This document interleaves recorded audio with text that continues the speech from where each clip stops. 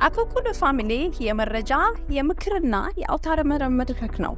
ለእናንተ ጠቃሚ የሆኑ መረጃዎችን በጤና፣ በትምህርት፣ በንግድና በተለያዩ የማህበራዊ ጉዳዮች ይዘላችሁ ይቀርባል። For the first time in history, artificial intelligence is a good means of getting visa and permanent residency in the United States.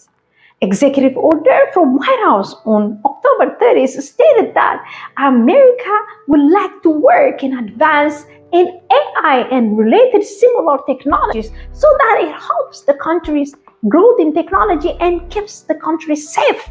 So, what is the means that we have to achieve? That we need to achieve this goal. The first one is to recruit, identify, and recruit artificial intelligence talents throughout the world. First, we identify the countries and then we recruit the talents. We let them know that America has immigrant and non-immigrant visa for this own purpose for those who would like to come into the United States to either study on artificial intelligence, do research, or work on artificial intelligence. So these members come into the United States and will be able to live here permanently. This is a visa availability should be abandoned and should be facilitated.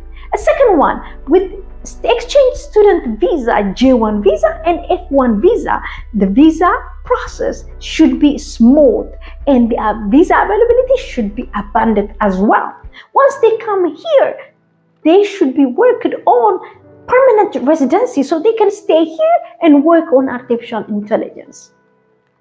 For those who are coming on a JV1 visa, they will be able to come into the United States with their spouses and their children and will be able to stay in the United States for a long term. This is an amazing decision by the White House to advance AI work of the United States. What else they're saying? They're also saying that those who are living here in the United States will be able to keep their visa status with no interruption while they're working on AI. And those who would like to continue their work for a long term living in the United States will be facilitated to get a permanent residency card, green card. The second point is for those coming from the United outside the United States, the O1A visa, which is a staying visa, EB1 visa for extraordinary ability, or EB2 visa with advanced degree and exceptional ability, they will be able to come into the United States with the hope, with the process that will be they will be working on this AI for a long time with the permanent residency. H1B visa, it's gonna be even better because AI work will allow them to bring their own family members, spouses, and children and stay here with green card status and continue their work on AI. This is an executive order from White House, and I hope you will benefit from this. By the way, I'll put the link in the in the YouTube video so you will learn more about this order and benefit from it. And good luck.